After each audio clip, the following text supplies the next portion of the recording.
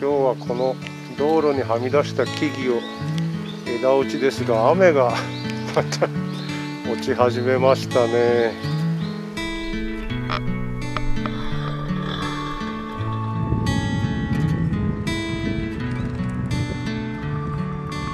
今回も命がけの作業です。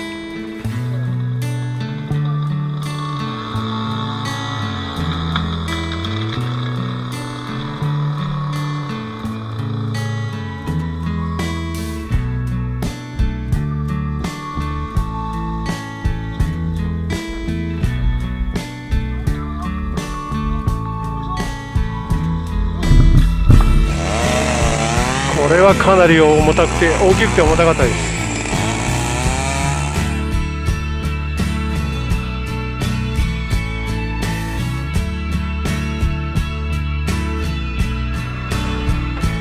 紐で吊るす方法でたくさんの枝が切れました。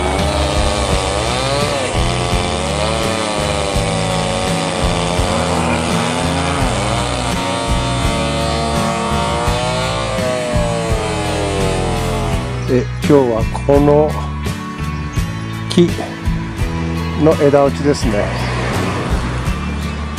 道路に落ちた枝をここから一気に引き込む作業が大変でした。ああ。